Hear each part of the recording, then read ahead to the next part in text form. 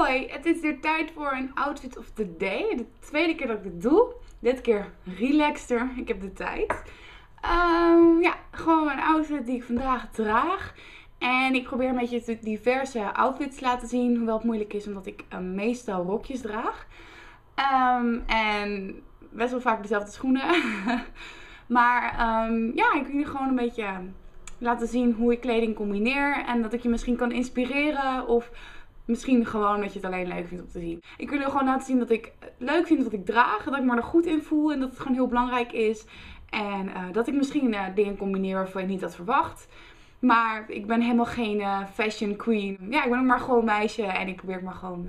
doe ook gewoon mijn best om er leuk uit te zien. Dus dat is het enige wat ik wilde zeggen. En je hoeft het niet mooi te vinden. Dat maakt me allemaal verder helemaal niks uit. Wat ik, nou, ik heb uh, paaloorbellen in. Een groot horloge om. Deze uh, bloemenring. En ik heb deze ketting. Um, met een uh, hoofdje. Ik weet niet meer hoe je zo'n ketting noemt. Het heeft een speciale naam. Allemaal wat vrij truttige items op het horloge na.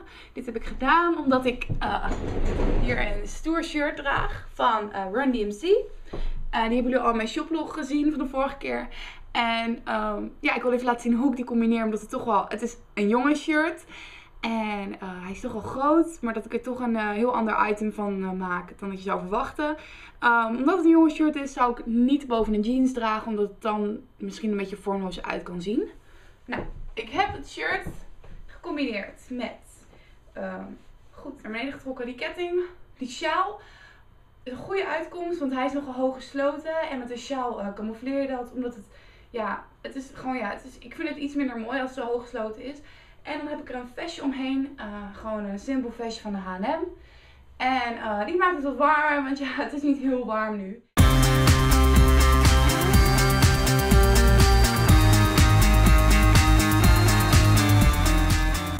En daaronder heb ik dan nog een rokje. Dit rokje, heel simpel rokje van de H&M. Zo'n strak rokje is dat. En de schoenen. En deze schoenen van Fornerina. Heb ik ook al vaak voorbij zien komen.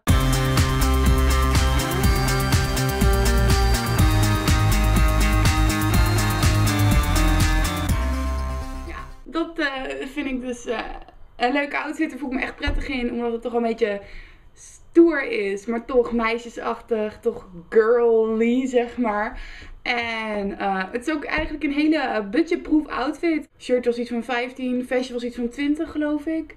Uh, ja, de schoenen waren dan uh, wel over de 100 euro. Maar ja, het zijn eigenlijk een paar hele simpele, combinaties. Simpele uh, items. Basic items eigenlijk die denk ik wel bijna iedereen in zijn kast zit hangen. en dan met de juiste accessoires. Ook echt heel belangrijk. Want denk even de accessoires weg. En de outfit is echt een stuk saaier. Met de juiste accessoires maak je het ook veel leuker. En natuurlijk met een mooie make-up erbij. ik heb gewoon gekozen voor een hele simpele winged eyeliner. Heb ik gemaakt met uh, vloeibaar eyeliner van de Hema. Gewoon met uh, eyeliner van de Hema. Oh. en ja. En um, verder heb ik uh, make-up heel neutraal gehouden. Ik heb een hele lichte blush aangebracht. Wat wel iets meer gewogen ik het zie. En wat ook leuk is, omdat het shirt dus rood bevat. Om hier felle rode lipstick bij te dragen. Maar ik snap wel als het misschien iets too much is. Maar uh, ja, verder vind ik het heel leuk. En het feit is natuurlijk wel, je ziet niet veel terug van het shirt in deze outfit. Je ziet niet heel duidelijk uh, dat er Run DMC staat. Maar dat vind ik niet eens zo erg. Want als je sjaal net even aan de zijkant valt, dan zie je het misschien wel. En dan is het toch van, oh, leuk. En in de zomer dan uh, laat je het vestje weg. En dan, ja, is het gewoon, zie je het beter. En zonder de sjaal en zo. Maar dan moet ik dan misschien even kijken hoe ik het dan combineer.